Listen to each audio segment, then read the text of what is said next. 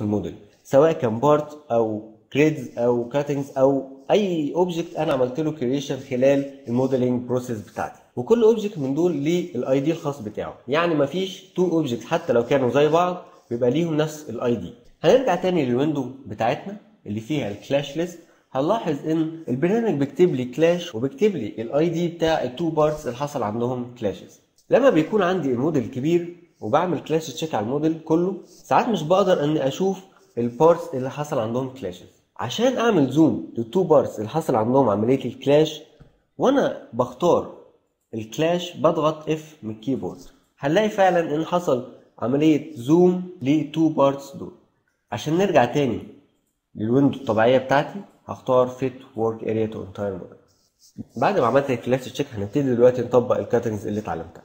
هنبتدي دلوقتي نختار نوع ال cutting المناسب للحاله اللي عندي من شكله إن أنا عايز أقطع ال tie beam على ال footing. وما دام قلت إن أنا عايز أقطع two parts على بعض يبقى على طول هروح أختار cut part another part. هنختار الأمر من ال detailing toolbar هيطلب مني إن أنا أختار ال part اللي هيحصل فيه عملية ال cutting اللي هو هنا ال tie beam. وأختار ال cutting part اللي هو ال footing. هنلاقي فعلا إن ال tie beam حصل فيه عملية ال cut. عشان نتأكد برضو هنعمل hide لل footing عن طريق right click و hide هنلاقي إن حصل cut في هنلاقي إن حصل cut في ال tie beam بنفس شكل ال footing